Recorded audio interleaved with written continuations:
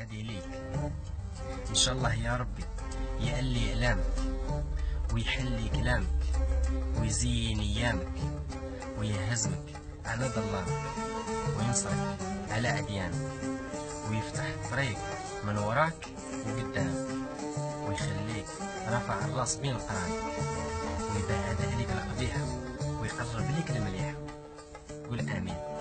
خلوها ناس سلام.